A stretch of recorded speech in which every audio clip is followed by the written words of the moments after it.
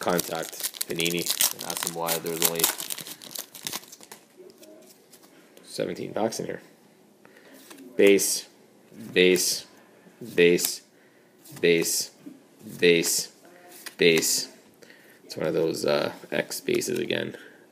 Have 250 of Stephen Tulloch of Alliance. And the last card is Olivier Vernon of the Miami Dolphins. All right. That's all. I just want to double check that. I already did this three times, but I can't believe there's only 17 packs. Um, anyways, thanks for joining me. I'm going to try to get these out tomorrow, but it might take an extra day because there's so many cards to mail. But uh,